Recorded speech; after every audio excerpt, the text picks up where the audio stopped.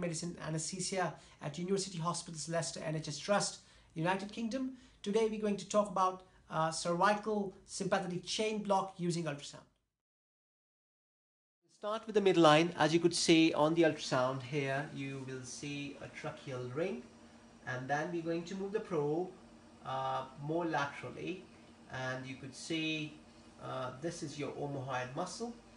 You will have your thyroid gland, you have your carotid artery and I'm actually compressing the internal jugular vein. As you could see I've relieved the compression that's your internal jugular vein. And the important structure when you start to see this you're looking for a bony sellout a continuous line which is straight on and there is no anterior tubercle. You have a posterior tubercle. This is your C7 level. Can you freeze the image please? Freezing yeah. Take the picture now we will going to move on to, once you find the C7 level, now the another way to confirm the C7 level is by putting a color Doppler and we are going to look for the vertebral artery.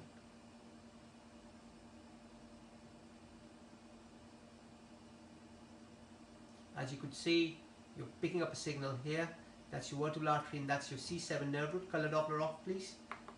Now we're going to move up in to C6 level as I said uh, previously uh, on the skeleton uh, demonstration. At the C6 level you have your anterior tubercle and the posterior tubercle and the cervical nerve root at C6 level is sitting between your anterior tubercle and posterior tubercle. It looks like a ghost. Uh, so anterior tubercle, uh, nerve root, posterior tubercle.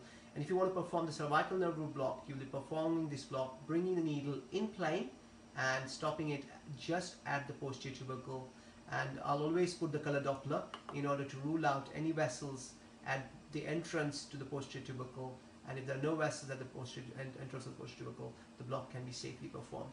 The cervical nerve root blocks that we perform using the ultrasound uh, are basically the extra foraminal injections. Thank you.